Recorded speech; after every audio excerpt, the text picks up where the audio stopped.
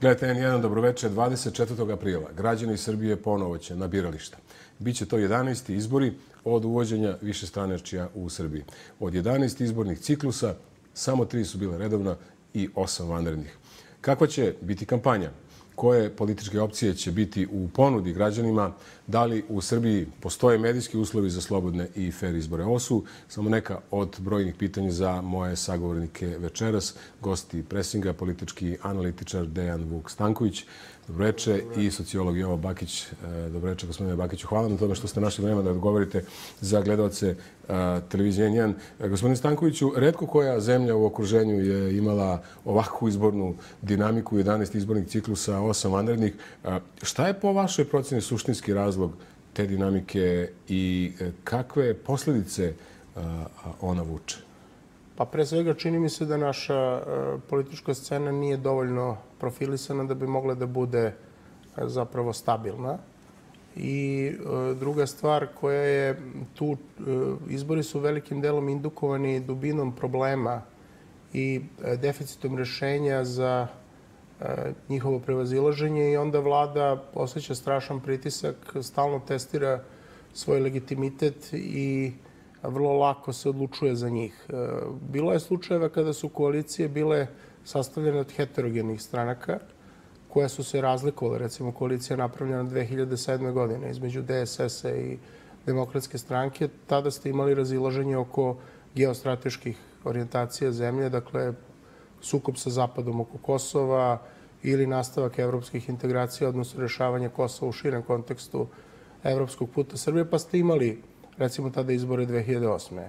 2003. godine smo imali ubistvo premijera Đinjića, endemsku nestabilnost u koaliciji sukob između G17 i ostatka tadašnjeg DOS-a, što je onda indukovalo indukovalo izbore. Dakle, sad je tu različiti su motivi. Ne znam, 2012.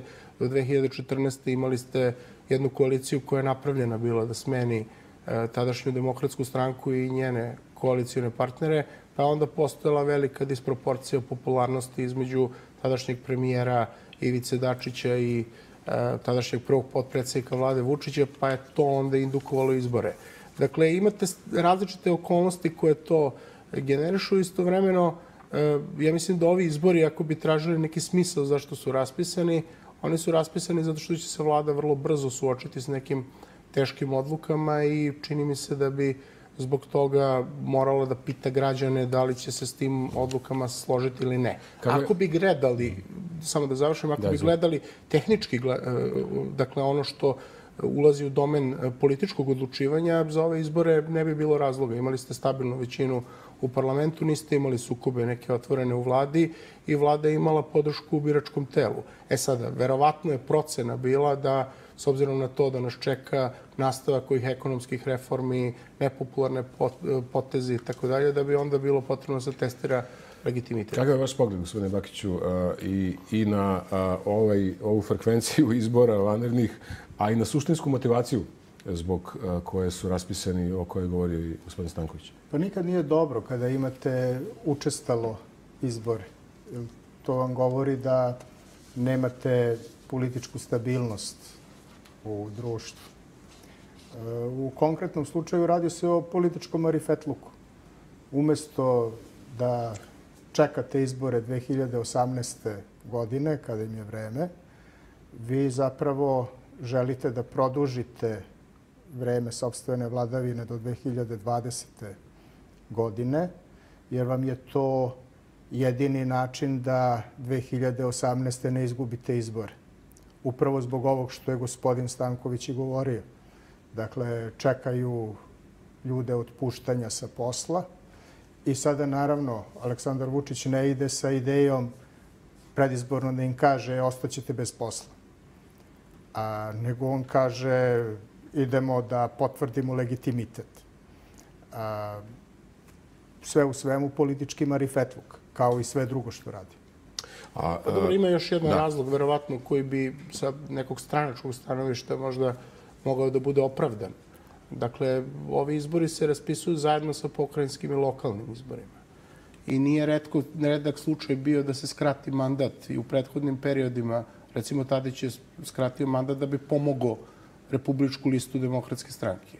Sada je Vučić verovatno jednim delom iskratio mandat da bi pomogao napredak Vojvodini, je li? izbore u Vojvodini i lokalne izbore u Srbiji. Ne zaboravite da je Miloševićev režim e, počeo da se ruši onog trenutka kad je gubio lokalne izbore u značajnim gradovima, 96. godine.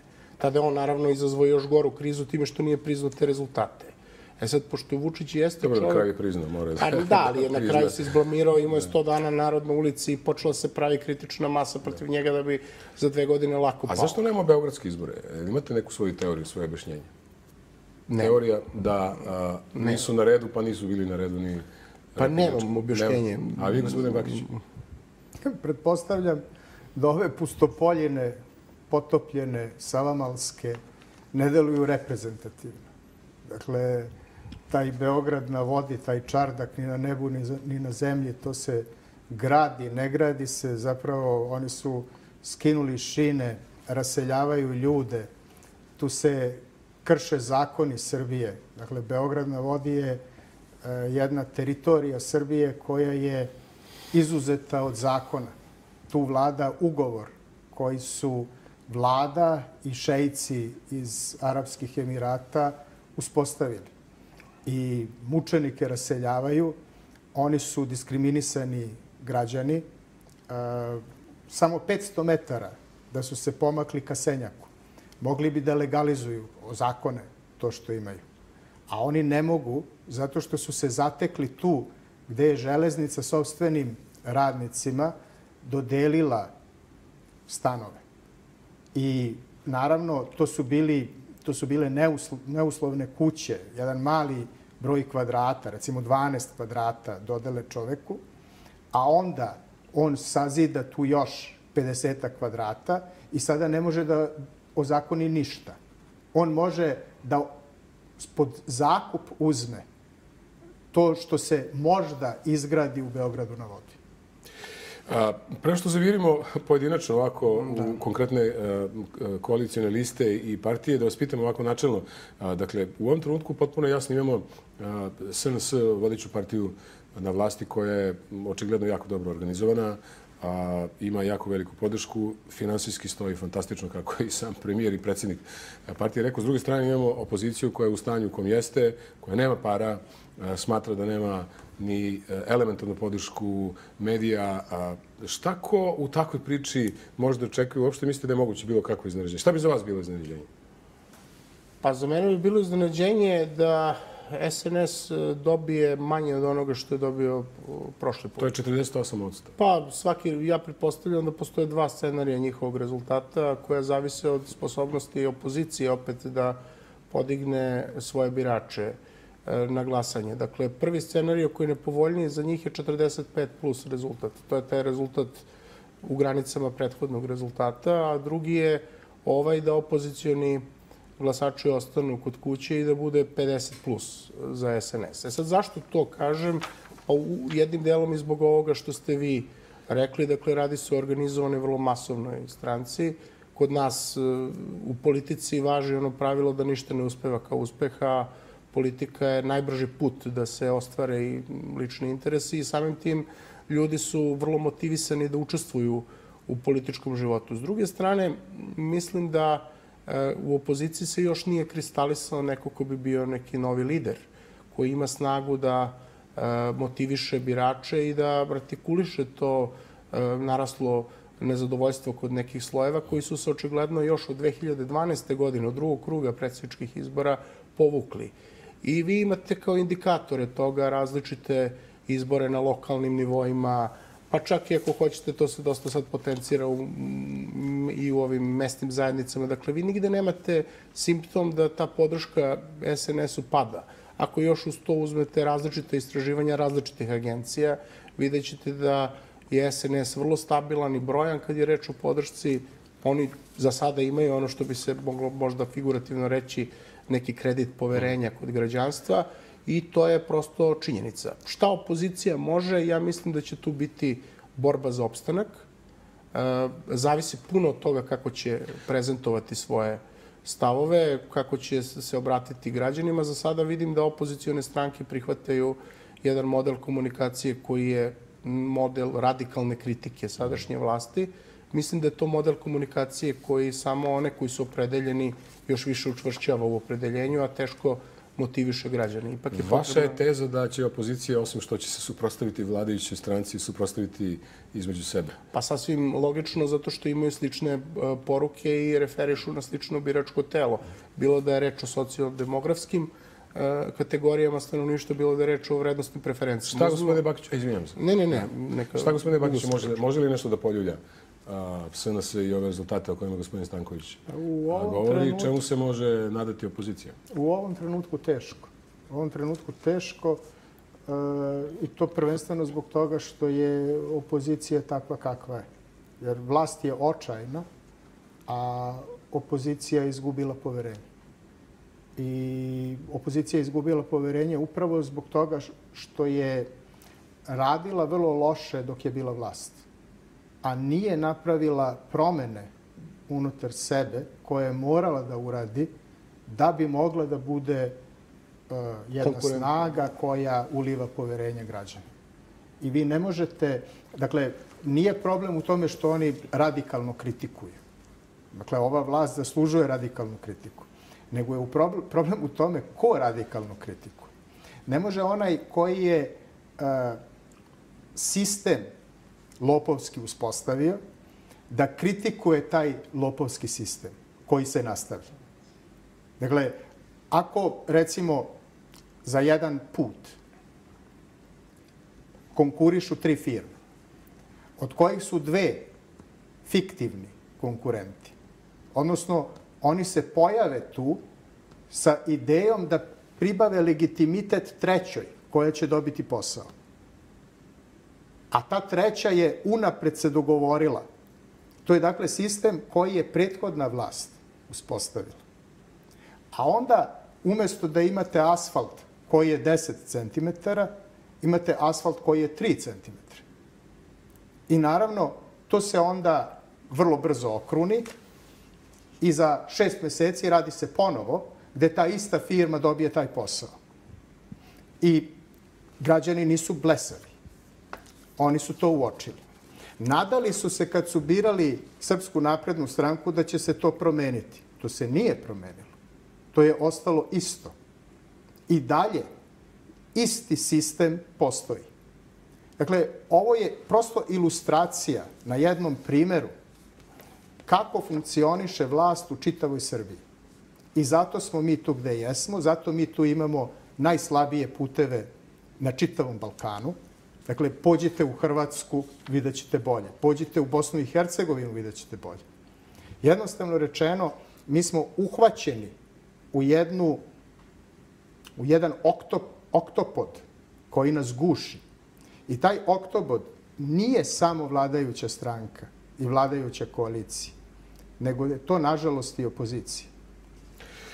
Dobro, ajde da, da pogledamo malo a, pojedinačne liste. Kako, kako gospodine Stankoviću, tumačite ovo odbijanje DS-a da izađe u jednoj koloni sa ovom drugom koalicijom u kojoj su SDS, LDP i a, Liga socijaldemokrata, a, kao i činjenicu da je recimo ima nekih zbunjujućih rešenja unutar liste demokratske stranke poput ovoga da je recimo Dragan Šutanovac koji je bio potpisnik stranke 28. na listi ili da je profesor Vladimir Pavićević a, koji je dosta poznat po aktivnostima unutar parlamenta 35.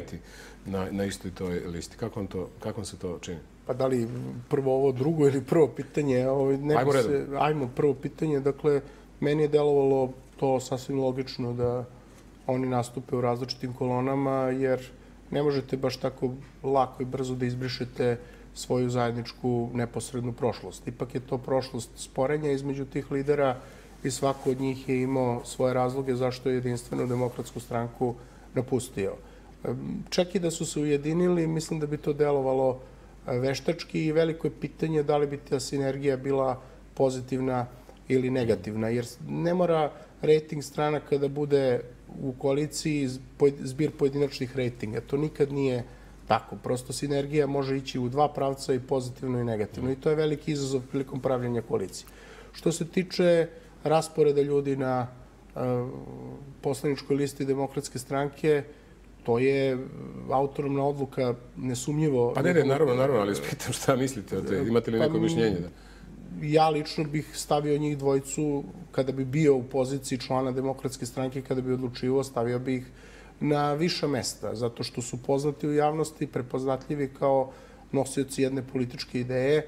E sad, ipak su različiti, različiti ljudi, različite političke persone. Vladimir Pavićević nema iza sebe a, neke sporne stvari koje možda mogu da se pripišu Šutanovcu, ali u svakom slučaju Šutanovac je vrlo iskusan i dobar tribun za publiku koja glasa za demokratsku stranku. Tako da ja mislim da to jeste taktička, taktička greška što su oni stavljeni tako nisko na Je li greška, gospodine Bakiću, ili je neki strana, imate objašnjenje neko vaše? Ne. Ja mislim da je kompletna lista demokratske stranke potpuna katastrofa.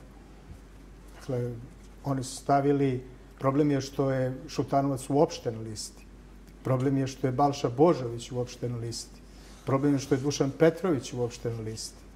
Dakle, vi ne možete sa ljudima koji su uništili demokratsku stranku da pravite demokratsku stranku. Odnosno, vi pravite ni iz čega ništa. I to je katastrofa. A s druge strane, vlada Pavićevića, koji je bio jedan ozbiljan poslanik u prethodnom periodu, vi stavljate tek na 35. mesto. Pa dobro, ali on nije član demokratske stranke. Pa nema, nema veze. Dakle, ključna je stvar da li vi hoćete da pridobijete neke nove glasače ili nećete. Dakle, oni u, u ovom trenutku, demokratska stranka šta radi? Ona na osnovu brenda demokratske stranke, jer demokratska stranka je, o, demokratska stranka je ozbiljan brend. Dakle, oni na osnovu toga će uspeti da prekorače cenzus. Inače, sa ovakvim ljudima, oni nisu da uopšte pređu cenzus. To je potpuna katastrofa. E, vi kad, kad pogledate, ne znam, Slobodan Milosavljević dobije ovacije na glavnom odboru. Šta to znači? Demokratska stranka šalje poruku da ona ne poštuje pravosudni sistem zemlje. Dakle, trenutno se protiv Slobodana Milosavljevića vodi postupak. To ne znači da je Pa dobro, kriv. vodili su se mnogi postupci protiv mnogih koji su Pa, kasnije oslobođeni, znate i sami. Sve tako se da to slažem. ne mora ništa da znači sve, u sve Srbiji. se jel? slažem. A u Srbiji ne. Ali u ozbiljnoj zemlji.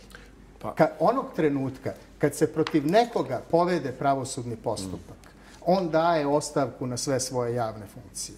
Da ne bi naštetio stranci, jer šteti u normalnoj zemlji, on je pod sumnjom. Dakle, nevin je, ali je pod sumnjom. Vidim, vi vrtite glavu, Da, gospodine da, pa Stankoviću, ne, je- mislite da je može se desiti da DSI ne pređe cenzus, to je to bio komentar. Pa nije, nije izvestan cenzus. Znači, po onome što su uvidi u, iz istraživanja biračkog tela. E, Brand jeste respektabilan, ali zavisi od toga kako ćete se predstaviti u kampanji. Da li ćete uspeti da pokrenete i jednu mrežu aktivista i mrežu pristalica. E, Ne mislim ja da demokratska stranka nema šanse da pređe cenzus. Ima šanse da pređe cenzus i u svim istraživanjima ona se pojavljuje, barem onim istraživanjem koje su meni poznata, ona se pojavljuje, e, a to su istraživanja pre svega agencije Faktor Plus, ona se pojavlja kao treća snaga u ovoj zemlji sa nekih 6-7%.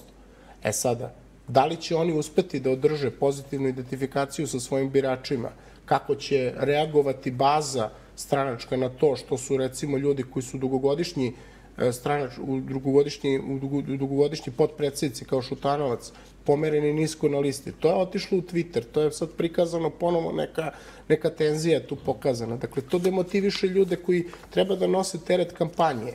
Drugo, kada pričamo o listama, mada je to vrlo nezahvalno da pričamo mi koji nismo u strankama, e, Dakle, kada pričamo o listama, tu ima i raznih e, stranačkih nekih unutarpartijskih dogovora. Dakle, neko je funkcioner dugo, on za sobom ima neke ljude u drugom, trećem ešalonu, oni su potrebni operativno. Stranka je jedan živ organizam i zato možda to nama deluje ovako s polja nelogično, ali to ima neko svoje opravdanje za njihove poslove unutar partije. Hvala, bit ćemo u studiju nazad za minut dva.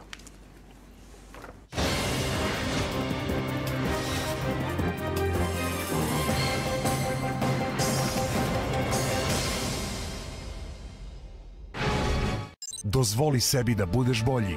Peugeot 2008 od 157 eura mesečno. Argus Tours. Gradovi Evrope od 39 evra. Leto 2016. od 39 evra. Aviokarte za ceo svet. Argus Tours. U vaše živote donosimo svetlost i radost. Operacije katarakte, lasersko skidanje dioptrije, operacije očnog dna i razrokosti. Najsavremenija tehnologija u službi jasnog vida. Očna bolnica Profesional 011 3752 283. It's time. Ready? There's no turning back.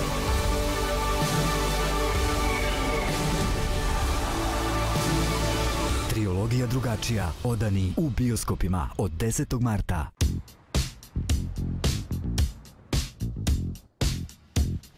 Another one drives a duster. Another one drives a duster. Another one drives a duster.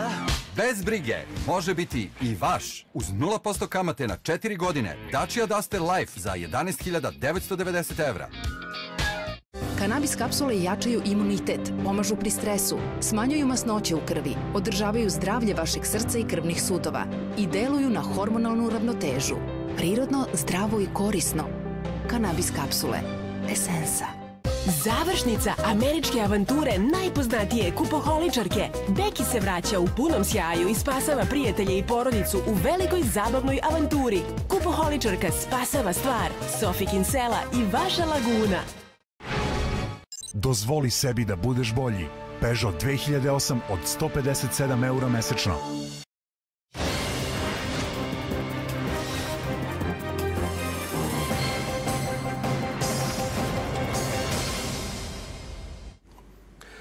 Sociolog Jovo Bakić i politički analitičar Dejan Vuk Stanković, gosti presinga, razgovaramo o a, izborima. A, gospodine Bakiću, a, ajte da zavidimo malo u SNS-ovo dvorište. Oni su ostali praktično sa onim svojim partnerima iz prošlih izbora uz neke neobične dodatke. Ja se sećam da je premijera možda samo sam, dan prema što su objavili da će i Srpska narodna partija ući u tu koaliciju Nenada Popovića a, veoma kritički govorio o antievropskim partijama, a s druge strane gospodin Popović veoma negativno o proevropskim, imajući u vidu njegove, a, njegovu stratešku orijentaciju a, ka Rusiji. Kako vam izgleda ta, taj savez, kako ga objašnjavate? Pa To je jedan savez koji je u skladu sa autoritarnom voljom vođe. Dakle, on s jedne strane ima na listi i Miroslava Lazanskog, koji mu može doneti glasova, i recimo tog nesrećnika Popovića, koji bi gradio zidove, žice i ostalo na granicama. I za takve je Aleksandar Vučić, ne imenujući, koristio prilično oštre termine. A onda ih je stavio na listu. A, o čemu se radi? A s druge strane, da, ima ljude koji su skloni zapadu. A, ne bi imali ništa protiv ni NATO-a. Dakle, to je jedan a, široki front bez kičmenjaka a, koji su se skupili da podrže vo- vođu. A vođa ih miluje i daje im sinekure.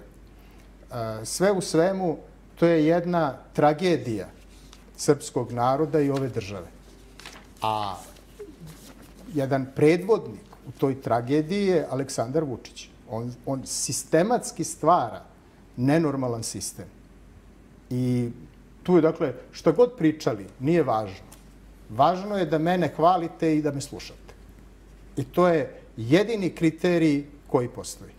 I u tom smislu i Dejan Vuk Stanković i Anđelković i Radun, svi su poželjni analitičari. Nije važno što se oni međusobno ne slažu, već je samo važno da mene slušaju i da me hvale. A to i oni rade. E, ja naravno neću odgovoriti na ovo što se odnosi na mene, jer Što nije ova emisija, pa nije ova emisija u kojoj ću ja da pričam o sebi. Ja pričam ovde o političkim strankama. Gospodin Bakić ima pravo da koristi svoju slobodu mišljenja onako kako on misli. Za razliku od njega, ja nemam nikakav problem da gostujem na bilo kojoj televiziji i da odgovaram na, kao što vidite, svako vaše pitanje. Ja ne pravim takve rovove među ljudima i mislim da kultura dijaloga podrazumeva i to da ne kažete baš sve što vam padne na pamet, jer to onda slobodu pretvara u neotesanost. Posebno ako je to istina što kaže.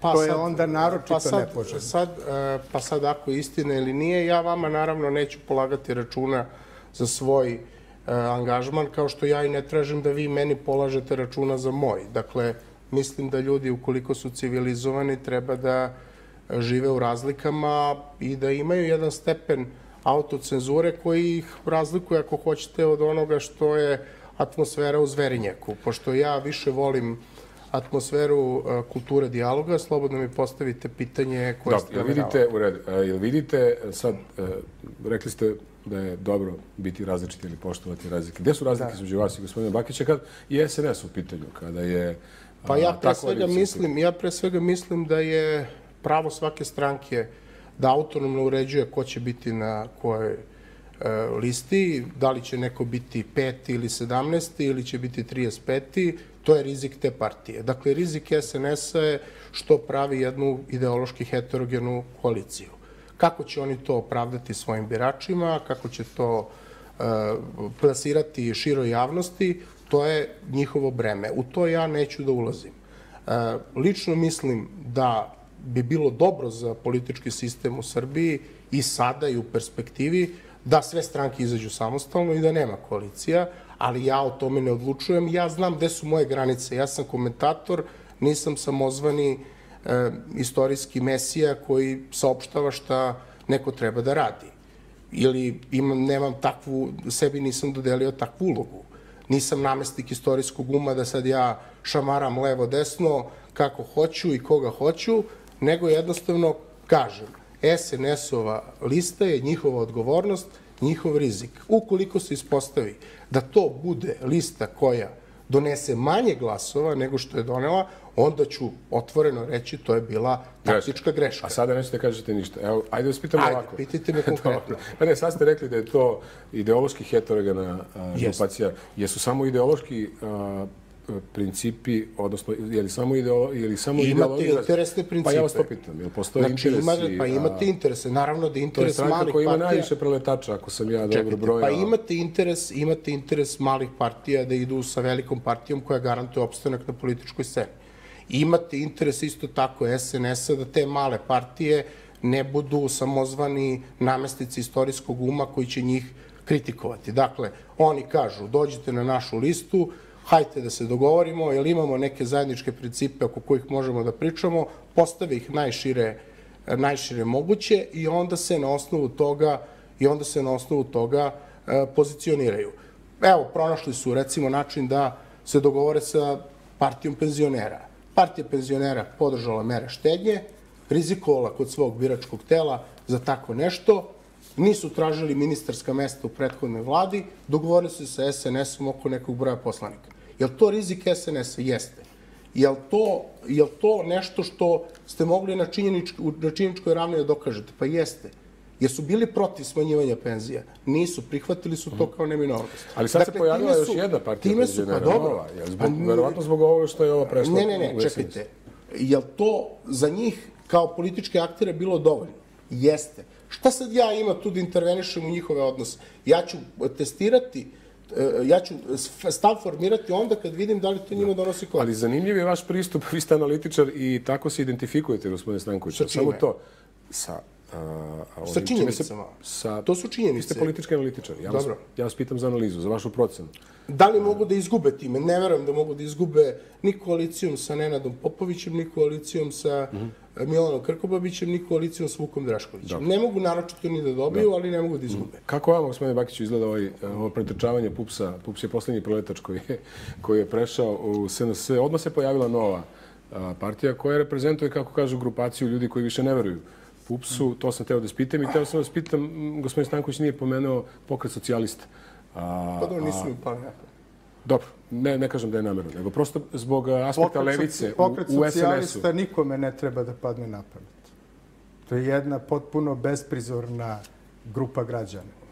Što će oni? Be, ne, ne bi mogli imati 0,3% na izborima da izađu Kad samostalno. kažete besprizorno, dosta je, da kažem ovako, oštra ocena, da ne upotrebim neku drugu reč. Na, na šta mislite? Pošto besprizornost da Pazite, podrazumeva svašta. Besprizorna i socijalistička partija Srbije s te strane, jer Pazite, to su kao levičarske stranke koje provode neoliberalnu politiku. Pa tu nema ni L od levice. To je skandala, nije levica. Znači, hajde na stranu što ovog čoveka treba videti pred sudom, što predvodi socijalističku partiju Srbije. On nikako da se pojavi. Ali ovaj drugi, znači šta, šta on tu radi?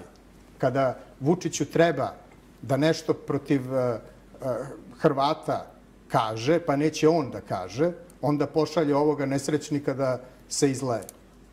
O čemu se tu radi? To je sramota. To je sramota ove države. To je sramota ovog društva.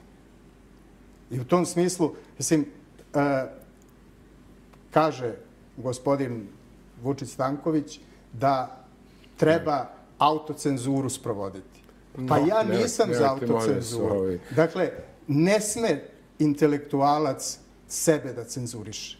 Ako je dotle došao, pa on nema ni i od intelektualca. Nek sedi kući i ne gleda televiziju.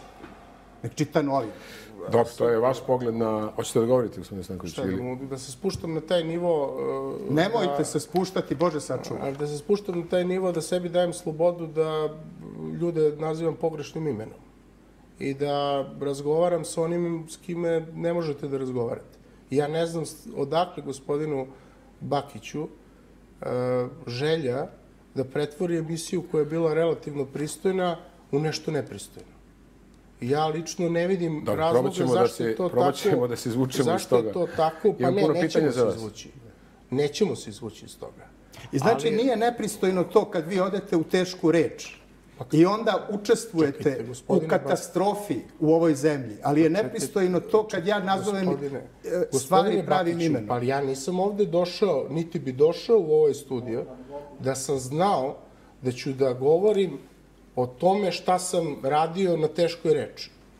Moje pravo da dođem u emisiju u koju ja mislim da treba da odem. I treba. To što vi, I treba. to što vi lično ne želite da odete na televiziju Pink, ja poštujem kao vaš izbor. A to što ja odem tamo, to bi valjda trebalo po nekom zakonu reciprociteta koji važi u civilizovanom svetu da vi poštujete kao moju odluku. Poštujem. Pa čekajte, ali Pozdravljam. zbog toga ne treba ljudi međusobno da se vređaju. A što Ako sam vas uvredio? Pa čekajte, e, pa prvo ste me vređali po ličnom osnovu. Što? Priču, pa. Znate vi dobro, a neću ja vama da objašnjavam. Nisam ja došao kod vas na ispit. Šta sam uvredljivo rekao? Samo vi nastavite tako, odgovorit ću ja vama.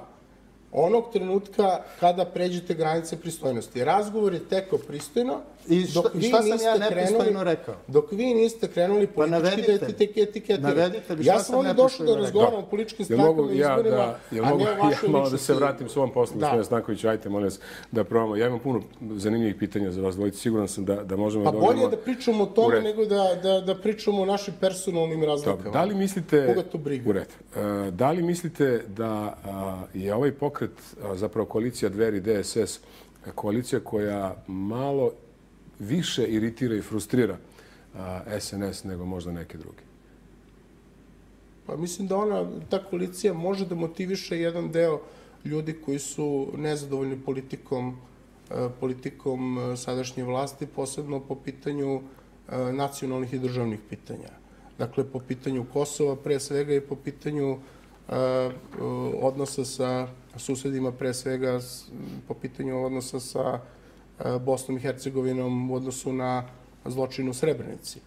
I to jeste koalicija koja e, vrlo oštro kritikuje sadašnju vlast po različitim aspektima, dakle i po pitanju državne politike, po pitanju evropskih integracija, po pitanju nedovoljne kooperacije sa Rusijom i po pitanju kapitalizma, jer oni su isto tako kao i svaka desničarska e, partija antikapitalistička. Dakle, to jeste koalicija koja je suprotstavljena po svojim stanovištima e, koaliciji e, oko Srpske napredne stranke, mada ja mislim da je domet te kritike jako slab, jer i oni e, nemaju ni odgovarajuću stranačku infrastrukturu. Pa nemaju ni baš mnogo prostora. Da... Pa nemaju ni mnogo prostora jer su van parlamentarna stranka, a vi znate dobro, dugo ste novinar, da kad stranka izgubi parlamentarni status, gubi i interesovanje medija. To je objektivna činjenica koja je važila za sve partije. E, Šta mislite, kako bi štetu Aleksandru Vučiću nanelo isporučivanje bilo kog radikala? nanelo bi mu štetu zato što bi radikale napravilo a, žrtvama u očima biračkog tela koje je nezadovoljno njegovom neza, e, nacionalnom politikom i nezadovoljno je spremnošću da e, bude kooperativan prema zapadu, odnosno prema Haškom tribunalu. A šta mislite šta se može desiti? Pošto će izruč... e, e, 31. je, čini mi se, saopštenje presude, znači do izbora ima još 24 dana. Ako on bude morao da ide u Hag, Mislim da će sadašnja vlada rizikovati da Šešelja ne, ne isporuči pre ne izbora. isporuči pre izbora. A vi, gospodine Bakiću? Potpuno mi je sve jedno. Vojislav Šešelj svakako radi za ovu vladu. Dakle, to je... To je zanimljiva teza, možete mi objasniti to? Pa prosto ako ga vidite i pročitate šta čovek priča, šta čovek govori javno, vidjet ćete da on Vučića uopšte ne kritikuje. On kritikuje Tomislava Nikolića. I potpuno je jasno, u ovoj zemlji je dopušteno kritikovati Tomislava Nikolića, a ako kritikujete Aleksandra Vučića, e, onda je veliki problem. I u tom smislu Vojislav Šešelj je idealna opozicija Srpskoj naprednoj stranci. On bi najviše voleo da demokratska stranka koja po svemu sudeći može da prođe cenzus, a, ipak bude ispod cenzusa, pa da onda jedina opozicija budu Srpska radikalna stranka i koalicija DSS i Dveri. Još je bolje naravno da i ova drugo ne bude, nego da Šešelj bude jedina i onda da može da kaže s jedinim državama i Evropskoj uniji, evo vidite, ako mene nema, pogledajte ko će doći. I to je prosto jedan a, razgovor, dogovor koji je providan, ali potpuno u skladu sa načelima srpske nesrećne politike. Hvala vam, vratit ćemo se u studiju za Mire 2.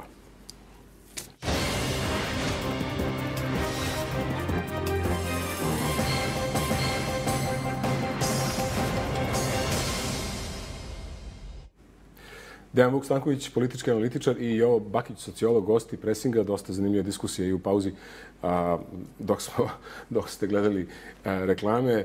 A, da, se, da se fokusiramo malo na medije i na televiziju. Čini mi se da je to jedna vrlo a, važna stvar i e, prosto znate i vi, gospodine Bakiću i gospodine Stankoviću, da je otvorenost medija za sve opcije, da se smatra jednim od ključnih uslova za, za, a, za fair izbore. A, kakva je vaša procena? Vi imate vrlo specifičnu ocenu a, da u Srbiji, kako sam video, apsolutno ne postoji cenzura. A, da vi drugačije objašnjavate. Ne, ja sam govorio, kada sam govorio o cenzuri, govorio sam sa stanovišta onoga čime sam se bavio i čime se bavim, a to je to su štampani mediji. Elektronskim medijima se nisam bavio i ne mogu o njima A da što govorim. se niste bavili elektronskim medijima? Pa zato što projekat na kome radim je projekat koji se A bazira šta na lično analizi. mislite? Je li ima cenzure u elektronskim medijima ili ne? Nisam dovoljno kompetentan da govorim na tu temu, nisam nikad bio A ni kako ste novinar, kompetentni da odgovorite na temu print medija? zato što se njima direktno bavim. A ovime se nisam direktno bavio da bi došao do potpunog uvida u to da li postoji cenzura ili ne, ja bi morao da se time bavim jako studiozno. Mislim da e, građanstvo u Srbiji sve ove godine, s obzirom na činjenicu da su elektronski mediji takvi da, pored televizije, imate internet i razne druge mogućnosti i s obzirom na to Da, mnogo slabije. je. naravno mnogo slabije i s obzirom na činjenicu da su mediji vrlo sveobuhvatan pojam koji uključuje i društvene mreže i televiziju i radio i šta ja znam, mislim da generalno gledano ne možete kažete da postoje ljudi koji su zabranjeni. Dobro, ali mogu ovako da vas pitam, pošto očigledno nećete da govorite o, o televizijama, ali... Pa evo, možete, mogu da govorim o televizijama, ajde, hoćete o vašoj prvo. Može, evo, kažete Evo, što na god vašoj televiziji nemate ni jedan afirmativan stav u odnosu na vlast. Vi ste potpuno pogrešno ovaj, percipirali ovu televiziju, ili je ne gledate ili ne razumete, to nije tačno. Pa dobro, ali ajde da kažemo da Ne, kod to vas... nije tačno, gospodine Stankoviću, ne govorite istinu, samo to da vam kažem. Dobro, ajde, evo, I, vi tekako kažete... ima, i tekako ima i mogu Dobro, da vas podsjetim. navedite, mi bar jedan. Pa jedan nemojte sad da vam idem Evo, kroz recimo, košuljice i da vam čitam koje smo Pa ne, priloge ali, radili. ali, ali ajde, ajde sad da vidimo, ajde, Niste konkretno, hoćemo da pričamo o medijima, ajde, evo. Niste upravo, postoji istraživanje Ipsos Connect, ako ste već pomenuli našu televiziju, naravno imate pravo da govorite o njoj, ali dozvolite onda i meni da kažem.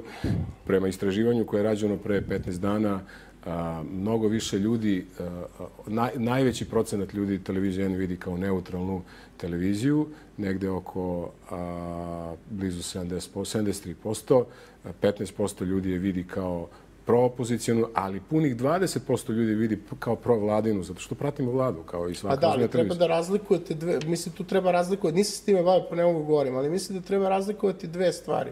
Jedno je izveštavanje koje je informativnog karaktera, da vi prenosite šta su aktivnosti državnih organa. A vi ne razumete medije, gospodine, Stan, e, gospodine Kako? e, pa ne razumete, da vam A kažem. drugo su vrednostne komentari. Recimo, Pa ne, kod ali- vas je moguć vrednostni e, prilog gde kažu gde postoji parafraza one rečenice francuskog kralja Luja, 14. država to sam ja i onda se e, referiše na Vučića. A to je jedna da- metafora najobična. Pa dobro, pa nas- metafora- Što se vi ljutite kad nije o vama, nego ne, gospodinu ne, ne, Vučiću. ne, ja samo kažem, vi kažete nema kritike, evo ima kritike, ima kod vas. Ali, ajde se vratimo mi na druge medije, Dobro, pošto vi... samo da vi raščistimo jedno. Ma ne, ne, ne, Samo jednu pošto stvar da vi mene pitali za medije, evo ja ću da Evo, vam daću vam odgovorim. šansu, ali samo da vam kažem, dakle, uloga medija je da zastupa javni interes i da kritikuje vlast. To su dve osnovne stvari koje svaki medij treba da radi. Zašto bi o, medij hvalio vlast? Pa mi ne mislim ja, treba Pa sad ste rekli da nema pohvala. Pa nema Ne, pohvala. ne, rekao sam- Afirmativnih priloga, ima normalnih priloga, to je naš posao. Dobro, ajde vidimo dalje, šta je vaše pitanje? Evo, o, prema što davo reči i gospodine Bakiću, pa evo mogu da vas pitam iz ugla profesije, da li je normalno da ministri jedne vlade prozivaju novinare po imenu na nacionalnim televizijama? Evo, vi ste učestvovali u jednoj takvoj emisiji, ne krivim vas naravno, nego prosto Pa se ja sećam to da radio. niste. Ja vas pitam za komentar političkih analitičara. A, Da, ministri e, prozivaju medije, ja to ne bi ne radio. medije, nego i, i novinare po imenima. Mislim da nije to potrebno. Nije to potrebno ni ministrima, nije to potrebno ni vladi. Dobro, hvala. Gospodine Bakiću, kakav je vaš pogled na, na stanje u medijima u kontekstu izbora, jer oni su očigledno vrlo važni? A, Znate, vrlo interesantno da je tu analizirano, kada je gospodin Stanković u pitanju, analizirani su štampani mediji. Zašto? Ako znamo da se 60% stanovništva Srbije isključivo informiše o politici preko pet televizija s nacionalnom pokrivenošću. Dakle, štampani mediji u jednoj zemlji koja je siromašna ne znače puno. Vaša televizija, ona je na kablu, na kablu, dakle to je kablovska televizija. To prati uh, jedna tanka manjina u Srbiji. Dakle, ovo sada što se gleda, uh, to, to manjina prati. Uh, da smo nas dvojica sada gosti na RTS-u ili na Pinku, E, to bi već gledalo jako mnogo građana. I u tom smislu, a, po meni je, hajde da ne koristim teš, teške reči, ali potpuno a, irelevantno kakva je N1 televizija. Ona može biti totalno opozicijona.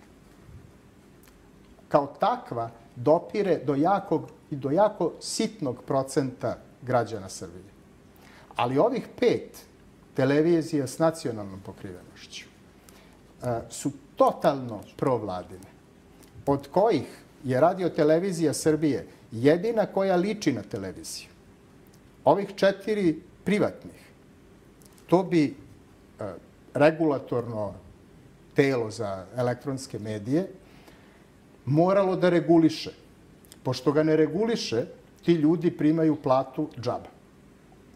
Dakle, uh, vi ste sada imali slučaj gde je žena rekla da je dobila 1500 evra da ima jednokratni seksualni odnos sa nekim mučenikom tamo na nekoj emisiji, nije važno ni kako se zove. I sve u svemu, koja je razlika između televizije s nacionalnom pokrivenošću u Srbiji i javne kuće?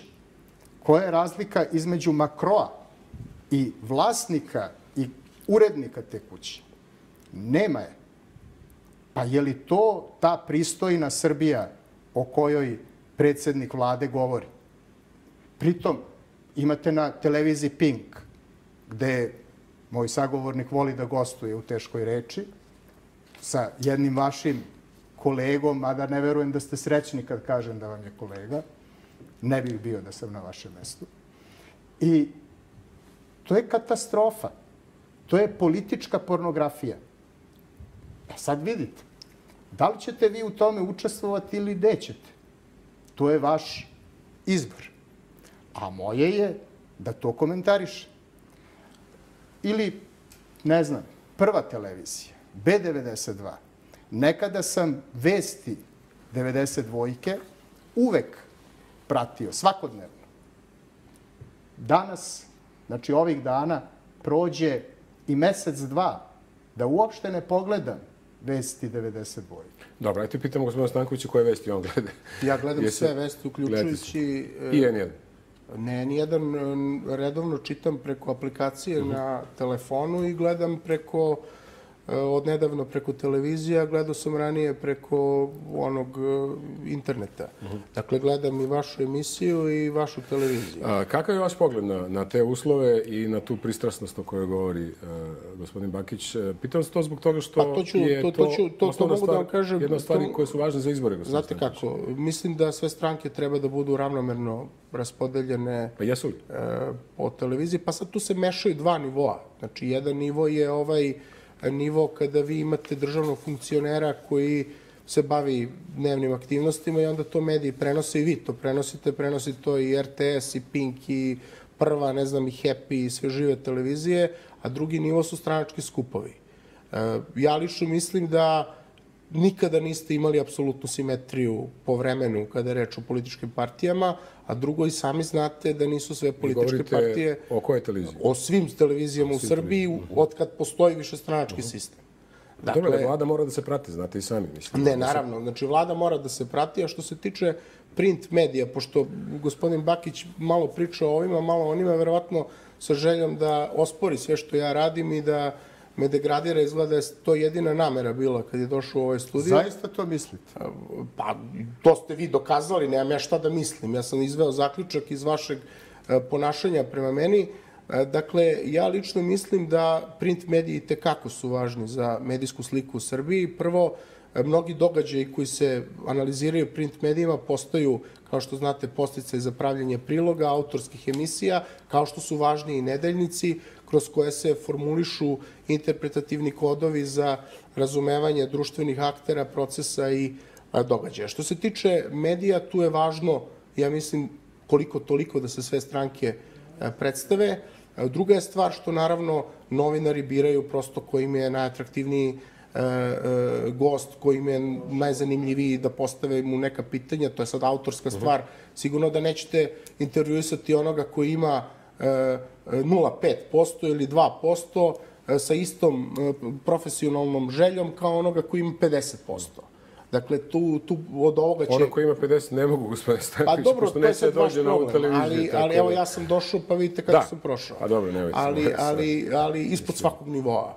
Dakle, A šta teška je tu ispod nivoa? Teška reč je za, znači, za vaš nastup. Znači, vama reč, nije ispod nivoa da se pojavite na teškoj reči, ali vam je ispod nivoa ne, da pričate ne, ne, ne, Ne, ne, ne, ne, ne, ne, ne, ne, pazite, ne vidim. Vi ne vidim da je na teškoj reči ne, nikada nisam, gospodine Bakiću, doživeo da me neko napada lično kao vi. Dakle, to tamo, uključujući tu i Nemanju Onda vam Šarovića, želim što više vremena na teškoj reči. Ja nemam problem, ja nemam problem kao što vidite da razgovaram i sa gospodinom Ćosićem i sa gospodinom Vučićevićem.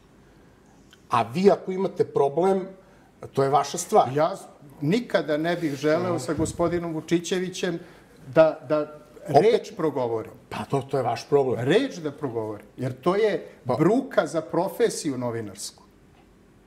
A ako vi to ne vidite, to je vaš Dobro, izbor. gospodine Bakiću, ajte da, da imamo još 4-5 minuta. E, Želim i vas e, i vama da dam šansu da odgovorite na ovo. Vrlo je zanimljiva e, ova teza, ne teza, nego prosto ovo što je gospodin Stanković rekao e, o tome da e, su politički skupovi, politički skupovi ono, u kampanji, a da je rad vlade, rad vlade. Gde je tu ta granica? Kako vidite ponašanje premijera u ovom trenutku? Da li mislite da premijer, kao što je rekao, ne učestvuje u kampanji i da će učestvovati samo posljednjih 10 dana ili to iz vašeg ugla nije baš tako? Pa vi ovde imate kampanju neprestano. Dakle, ovde e, izbori su završeni, e, čovek je u kampanji. Dakle, non stop kampanja traje. Mi smo u jednom nenormalnom političkom stanju koji generiše najmoćniji čovek u ovoj državi. I to je, on može to da generiše. Dakle, kad god ste najmoćniji, vi možete da generišete i dobre i loše stvari. On direktno generiše jednu vrlo rđavu stvar, a to je neprestana kampanja. Čovek ide, otvara klozete po školama, po Srbiji. Kao da to ne može da radi neki činovnik u Ministarstvu prosvete. Ili ima tamo uh, ovoga gospodina Blagojevića, pa neki činovnik iz njegove kancelarije. Dakle, ne, ide premijer da otvara klozete po školama. Pa to je nenormalno. Jer time treba da se bavi predsednik vlade. Pa koja smo mi to država? Šta je to? A, kakva kampanja će se odvijati u narednih šest nedelja po a, vašoj oceni? Ima a, puno teza da će to biti prljava ili najprljavija kampanja ili ne znam Pa ovakva ili svaka uvek onakva. bila najprljavija ovaj, od one prethodne. Mislim da će biti dosta negativnog naboja, da će biti vrlo intenzivna kampanja, e, da će tome posebno aromu dati i lokalni izbori. E, Dakle, jer tu će imati, biti različitih lokalnih ratova između stranaka, između različitih grupa građana i slično. Naravno, ne treba isključiti i činjenicu da ćemo imati te TV duele. U krajnjoj liniji polemika je žanar koji obeležava naš život.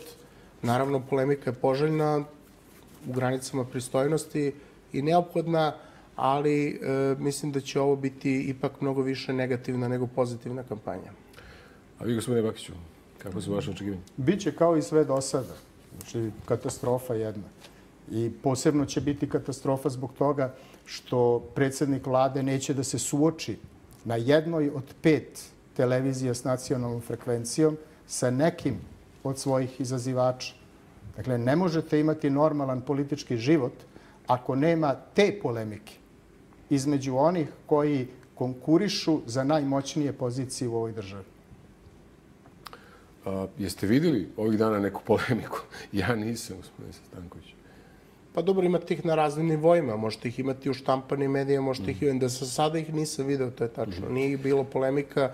Bilo je možda povremeno između opozicionih lidera, recimo na desnici, između Sande Rašković i Šešelja, što je sasvim razumljivo, jer oni imaju iste političke poruke, pretpostavljam da računaju jednim delom na isto biračko telo. U ostalom, ja sam rekao i vi ste to citirali, da će tu biti polemika vlasti i opozicije, ali i polemika između opozicionih stranaka i istih ideoloških opredeljenja. Imamo još samo minut. Želim ovo da spitamo koliko bi se e, desilo, a e, kako stvari stoje i po vašoj proceni po proceni e, gospodina Bakića e, stoje tako, dakle da će SNS ponovo biti u prilici da formira vladu. Koliko promjena očekujete u odnosu na postojeću vladu? Ovo je vlada koja je promenila najviše ministara, ja mislim, od uvođenja više stranačkog sistema, ono u hodu, što se Pa kaže. bit će verovatno nekih kadrovskih promjena, kojih tačno vidjet ćemo kad bude objavljen spisak ljudi koji ulaze... Pitam vas u kontekstu legitimiteta ove vlade, kako ste ga vi vidjeli? Evo samo tu ocenu od vas tražim za kraj. Mislite legitimitet vlade? Pa vlada imala legitimitet. Ne mislim na politički legitimitet, mislim na sastav vlade. Koliko je legitiman vlade. sastav vlade bio. Da. Pa ja mislim da će, da će sastav vlade zavisiti i od toga da li će SNS ići ponovo sa SPS-om kao partnerom, što zavisi i od njihovog A morat će rezultata ako na ne izborima. imali većinu. Jel? Pa to će sigurno pod A morati, a pod B vidjet ćemo kakav će rezultat SPS-a A biti. vi, gospodine Bakiću? Sasvim je sve jedno. Znači, vi možete imati Nebojšu Stefanovića, možete imati Ivana Tasovca. Dakle, s jedne strane, Tasovac kad je dolazio, svi smo očekivali pa to će sad biti nešto, nekog pomaka u kulturi i tako dalje. Kako će biti pomaka kada u budžetu nema ništa? Možda će biti mesto za Jovo Bakić. Neće, sigurno. Jer Jovo Bakić takvo mesto ne prihvata.